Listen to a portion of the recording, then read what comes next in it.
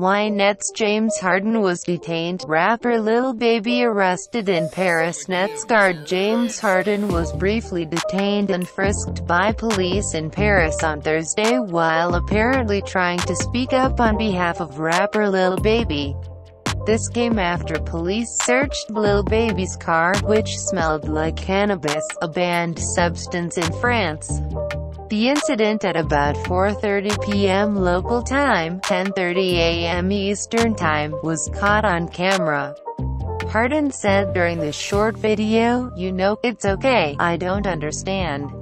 ESPN reported that Harden was standing on the street when the car was stopped. Harden was not arrested nor placed in custody, the prosecutor's office in Paris said, per CBS News but Lil Baby real name Dominique Jones, was arrested along with an unidentified man and charged with transporting drugs. ESPN reported that police discovered 20 grams of cannabis in the car.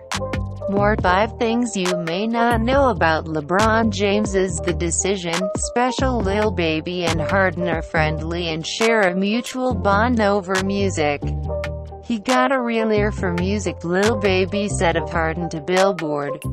That's how me and him linked on another level. He really into music. The net star and the Atlanta rapper were spotted together earlier Thursday. They also hung out with Kanye West on Wednesday night.